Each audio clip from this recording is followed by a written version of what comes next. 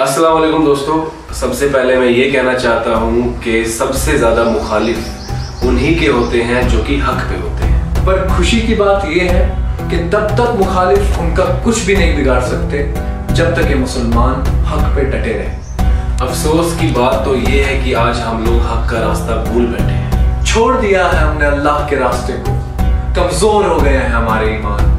नहीं बचा आज कोई सलाहुद्दीन अयूबी जैसा, ना कि किसी में आज हज़रत हमजा जैसा जज्बा है। क्यों हमने नबी के बताए रास्ते को छोड़ दिया? आज जो भी हालात हम पे हैं, उसके जिम्मेदार हम खुद हैं। बैतुल मुकद्दस में चलती नमाज़ में खलल पैदा की गई। वहाँ बच्चों पर गोली तानी गई।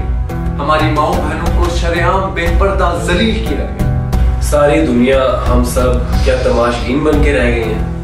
क्या भूल गए तुम नबी सल्लल्लाहु अलैहि वसल्लम का वो फरमान, जिसका मफहूम है कि मेरी उम्मत एक जिस्म की तरह है। अगर एक हिस्से में दर्द हो तो तकलीफ़ सारे जिस्म को होनी चाहिए। क्या हो रही है हमें तकलीफ़?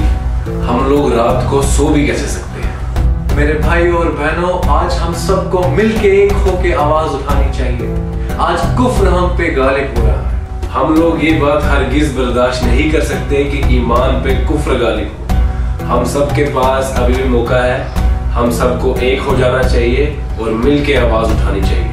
हम सबको मिलकर अल्लाह की बारगाह में दुआ करनी चाहिए कि हमारे हालात अल्लाह ताला सही करे और इंशाल्लाह करीब अल्लाह की तरफ़ से हमारे हक में फैसला उठेगा, इंशाल्लाह। मस्जिद अक्सा हमारी थी, हमारी है और इंशाल्लाह हमारी ही रहेगी।